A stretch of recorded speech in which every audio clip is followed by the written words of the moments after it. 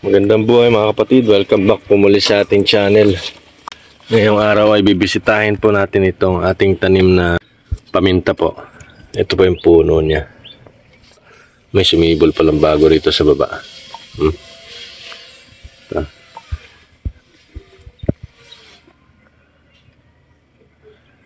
Ito. Po. Yan. May napansin kasi ako kahapon. Ito. Parang namulaklak na po siya. Yan. Ito, nagbi-build up na po ng bunga. oh. Dami po niyan hanggang sa taas. Tinanim po natin yan dito sa puno po ng nyug-nyugan.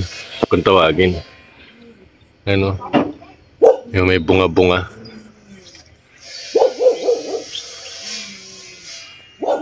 Ito po yung mahigit isang taon na mga isa't kalahati siguro.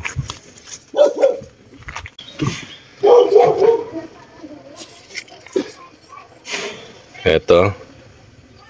Ayan. May mga umuusli na bilog-bilog. Ganito po pala ang bulaklak ng paminta.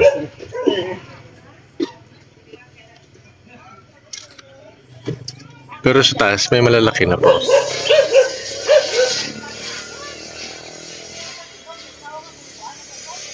Ano? I-update ko po kayo kapag talagang kuha na sila. Ano? Kapag buo na yung mga bunga niya.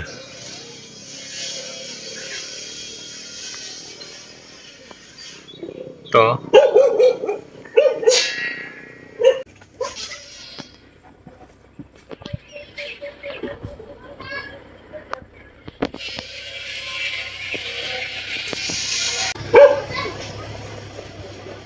Ito po. Kikita may mga butil na. Yan po. Bilog-bilog. Ito po ang dahon niya. Nakalimutan ko po kung anong klaseng paminta ito. eh. Kung hybrid o yung native.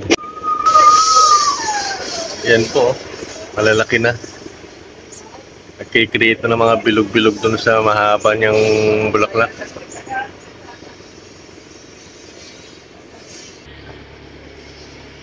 Ito po siya, yung maliit.